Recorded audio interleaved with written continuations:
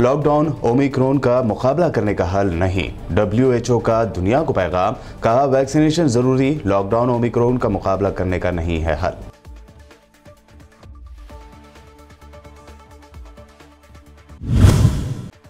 अमेरिकी सदर जो बाइडन ने ओमिक्रॉन वेरिएंट के पेश नज़र, मुल्क भर में आयद कर दिए सख्त सफरी कवानीन। प्लेन, ट्रेन और बसों में मास्क को कर दिया लाजमी, शटडाउन या लॉकडाउन लगाने से कर दिया इनकार।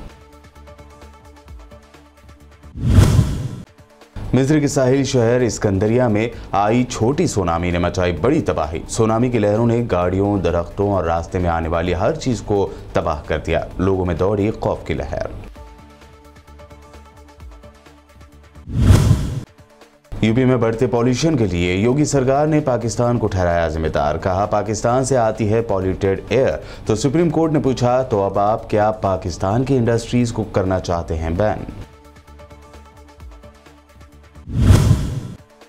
बीजेपी तर्जुमान संबित पात्रा और कांग्रेस लीडर कन्हैया कुमार के दरमियान जमकर हुई बहस। कन्हैया ने बीजेपी के नेशनलिज्म पर उठाए सवाल तो संबित पात्रा ने कहा, मोदी का ऑप्शन तो कोई नहीं, लेकिन राहुल गांधी के ऑप्शन है कन्हैया कुमार। और दिसंबर 2021 तक पूरे हिंदुस्तान के बालग अफराद को वैक्सीन लगाए जाने के दावे पर असदुद्दीन ओवैसी ने उठाए सवाल। कहा, हालिया आदाद शुमार बताते हैं कि मोदी सरकार अपने दावों से है कोसों दूर।